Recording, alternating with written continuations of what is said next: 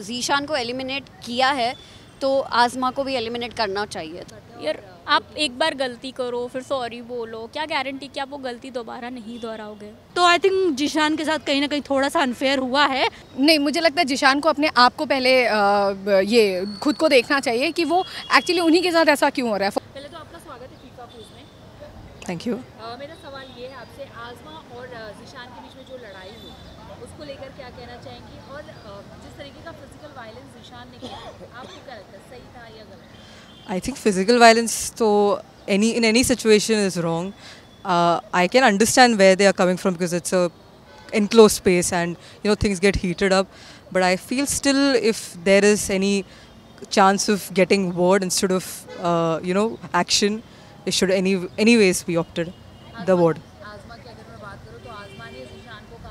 की तो you know आपके मम्मी पापा आप जब बाहर जाओगे तो मर जाएँगे मरे हुए मिलेंगे और ये भी कहा है कि आजमा ने कि आपकी जो गर्लफ्रेंड्स है वो डायरेक्टर के साथ इस बात पर नाराज़ हुए जीशान तो कहीं ना कहीं जीशान का ये कहना तो उन्होंने ये गलत बोला इसलिए मैंने I think if two people are involved, then why to involve other people, you know, their families or any other this. If you have a problem with someone, then just, you know, be upfront about it and just solve it there. No need to involve someone else and, you know, lose their dignity. Karan Kundra as a jailer वो तुरंत पहुंचे जैसे उन्हें पता चला उन्होंने decision लिया और जीशान को निकाल दिया क्या सही डिसीजन लिया If Zishan, I mean, if he has done any violence or something like that, and, you know, if, if it does not sit well with whatever terms and conditions he has signed on, then, then probably he shouldn't stay. But at the same time, the situation must be multi layered. So I think, you know, who has the charge? Who really knows?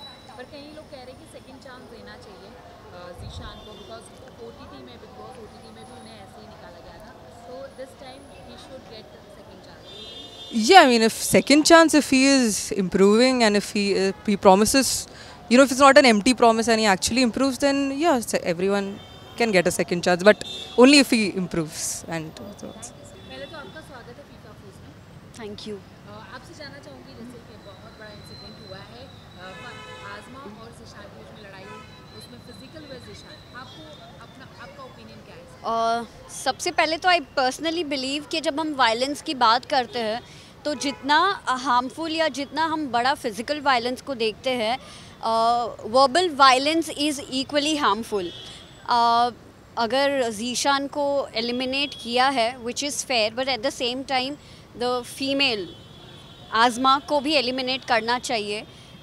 If you से उसका game है और उसने चल अपना you know verbal abuse से अपना game खेला है but I think it is equally harmful you know just because किसी ने हाथ उठाया किसी ने सामान तोड़ा वो गलत है। I am not supporting that but अगर कोई अपने वर्ड से भी किसी को हार्म कर रहा है it is equally abusive I would say और जो बोलते हैं ना कि uh, एक बार जो बात कही जाती है और वो किसी को अगर लग जाती है ना तो वो उसको आप वापस अपने वर्ड्स ले नहीं सकते हो। तो it is equally abusive and even verbal violence is a violence तो I personally feel even she should have been eliminated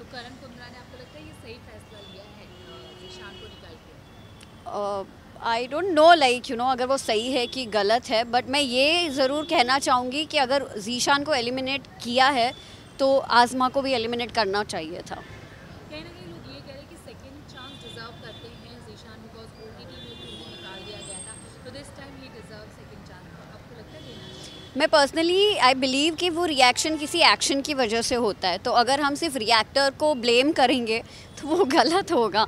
So if people are like you know कि he should he deserves a second chance then या I think या he does but वो तभी हो सकता है, या तो आप आज़मा को भी बाहर निकाल दो, दोनों को सेकेंड चांस मत दो। But if you are letting Azma continue the game then of course Zeeshan should get a second chance go है। तो आपका स्वागत है फीफा फ़ूड में। थैंक यू हाय जानना चाहूँगी जिस तरीके से लॉकअप में एक बहुत बड़ी लड़ाई हुई बिटवीन. एंड जीशान तो इनकी जो लड़ाई हुई फ़िज़िकल वायलेंस हुआ आपका ओपिनियन क्या है इस पर? पहले? तो आपने मेरा रिएक्शन देखा होगा फ़िज़िकल यार obviously it was I would say बहुत गलत हुआ जो भी हुआ। एंड uh, कहीं ना कहीं एक एक्शन रिएक्शन का ही खेल था। But I think I think Zeeshan ने कहीं ना कहीं एक लिमिट जीशान नहीं, मैं आजमा का भी नाम लूँगी। उन्होंने प्रोवोक करने में कसर नहीं छोड़ी, इन्होंने रिएक्ट करने में नहीं छोड़ी। आई फील दोनों को ही अपनी बाउंड्रीज में रहना चाहिए था एंड कुछ बड़ा हुआ था तो शो के मेकर्स पे छोड़ना चाहिए था। रादर दिन एक बोलते ना रिएक्ट करने की जगह और माहौल बिगाड़ने की जगह they should have approach the makers exactly और करण कुंद्रा ने जो अ, जीशान को निकाला घर से? क्या सही फैसला लिया उन्होंने? एक्चुअली घर से निकालने के ऊपर मैं ये बोलूँगी कि दोनों को ही निकालना चाहिए था। बट ऑब्वियसली फैसला तो अभी obviously like I said makers के हाथ में होता उन्होंने कुछ सोच के ही निकाला। So I can't really comment on this okay लेकिन लोग कुछ लोग कह रहे हैं कि जीशान सेकंड चांस डिजर्व करते हैं क्योंकि वो सॉरी फील कर रहे हैं।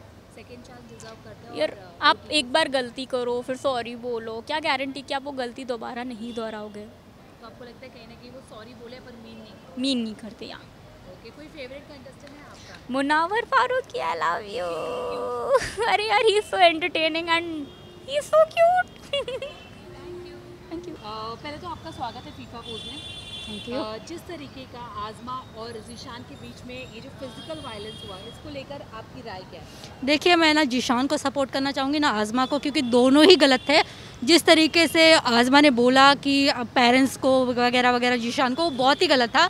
लेकिन यहाँ पे जिशान चाहता तो अपने एंगर को कंट्रोल कर सकता था, ना कि लड़ाई वगैरह करके इस चीज़ को बढ़ाना चाहिए था। उसे चलो, आज़मा ने बोला, वो गलत बोला बट यहाँ पे जिशान को भी खुद पे काबू करना चाहिए था और यहाँ पे उसे निकालना तो नहीं चाहिए था, क्योंकि बिग बॉस के टाइम पे भी ऐसा ही हुआ जब बिग बॉस होती थी था जीशान की गलती थी, प्रतीक की भी गलती थी, लेकिन यहाँ पे जीशान को भुगतना भुगतना पड़ा था। और सेम केस अभी भी हो रहा है, जिशान को ही भुगतना पड़ रहा है, जबकि गलती दोनों की थी। तो आई थिंक जिशान के साथ कहीं ना कहीं थोड़ा सा अनफेयर हुआ है और जो का डिसीज़न है वो आपको सही लग रहा है? नहीं मुझे लगता है कि एक चांस देना चाहिए था जीशान को क्योंकि ठीक है गुस्से में हो जाता है यार फैमिली तक अगर बात जाती तो इंसान थोड़ा सा हाइपर हो जाता है गुस्सा आ जाता है तो आई थिंक वो गलत चीज़ है। निकालना नहीं चाहिए था जीशान को शो तो से अभी। लगता है कि सेकंड चांस देना चाहिए? बिल्कुल सेकंड चांस हर इंसान डिजर्व करता है वैसे जीशान को भी देना चाहिए था क्योंकि बिग बॉस के टाइम पे उसको सेकंड चांस नहीं मिला तो एटलीस्ट अब उम्मीद कर रहे थे हम कि हाँ जीशान को सेकंड चांस दिया जाए लेकिन ऐसा नहीं हुआ। तो ये काफ़ी अनफेयर लगा मुझे क्योंकि देखो कहीं ना कहीं आजमा की भी गलती थी लेकिन कहीं ना उसको नहीं दिखाया गया है। और जीशान को बार बार ऐसे अंडर एस्टिमेट करना उसे बाहर शो से निकालना ये गलत है। तो अपना फेवरेट बता दीजिए आपका फेवरेट कंटेस्टेंट कौन है? वैसे तो मुझे मतलब ज़्यादा कुछ खास कंटेस्टेंट्स इस बार पसंद नहीं आए बट हाँ ठीक है जीशान का गेम मुझे अच्छा लग रहा था बाकी कंटेस्टेंट्स का भी गेम अच्छा लग रहा था।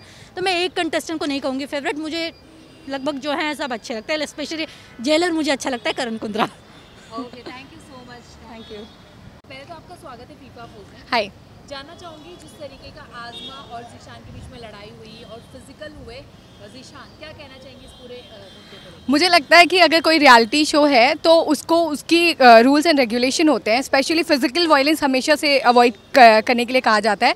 तो इतने एक्सट्रीम लेवल पे दोनों को नहीं जाना चाहिए था। Okay. या लेकिन आजमा ने जिस तरीके की बातें कही जीशान को उनके मम्मी पापा को लेकर कि बाहर जाएँगे तो जाएँगे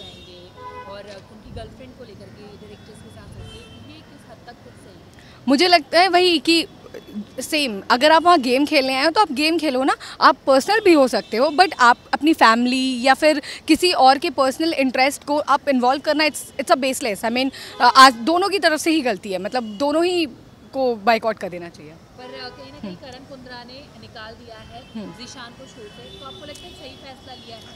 या एस मतलब मुझे लगता है कि फैसला होना इसलिए भी ज़रूरी है ना कई बार क्या होता है कि कंटेस्टेंट्स को ना वो लीवे मिल जाता है और उन्हें समझ में नहीं आती और वो अपनी तरीके से गेम्स को गंदा कर देते हैं। तो इस तरह की स्ट्रिक्ट एक्शन लेना कई बार आपको एक आपको ये याद दिलाता है कि okay dude you are the part of the game so you need to maintain the sanity और maintain the decorum of the particular shows या एग्जैक्टली पर कहीं ना कहीं कुछ लोग कह रहे हैं कि उन्हें सेकंड चांस भी मिलना चाहिए क्योंकि ओटीटी में थे तब प्रति के साथ निकाल दिया गया। तो इस बार वो सेकंड चांस डिजर्व करते हैं। तो आपको लगता है नहीं मुझे लगता है जिशान को अपने आप को पहले ब- ये खुद को देखना चाहिए कि वो एक्चुअली उन्हीं के साथ ऐसा क्यों हो रहा है। फ़र्स्ट शो में ओटीटी से निकाले गए दूसरी बार तो उनको खुद पर पहले काम करने की ज़रूरत है कि वायलेंस होना इज़ नॉट द ये। अगर वर्बली कोई आपको परेशान करा मेंटली वही आपकी टेस्ट होती है। अगर if you are not like you know patient enough तो आपको इस तरह सॉरी इस तरह के रियलिटी शोज़ में हिस्से हिस्सा नहीं लेना चाहिए ओके कोई फेवरेट कंटेस्टेंट है आपका मैं एक्चुअली बहुत ज़्यादा फॉलो नहीं कर रही हूँ बट uh,